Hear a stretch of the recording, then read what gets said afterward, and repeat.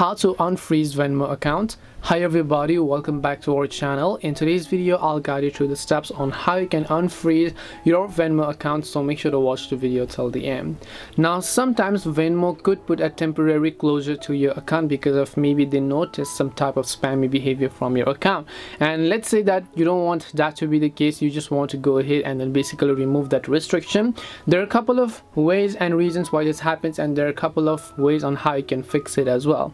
The very first thing I want you to do is if it is a temporary ban Venmo usually restricts your IP address. And when you change the IP address you could gain access back into your account. Your IP addresses can be changed in three ways.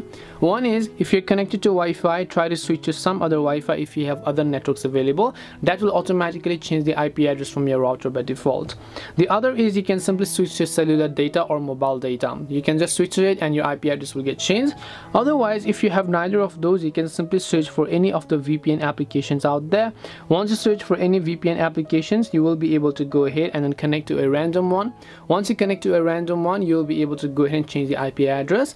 After you've changed the IP address you can come back to the Venmo application try to log into your account and you should be good to go from there onwards.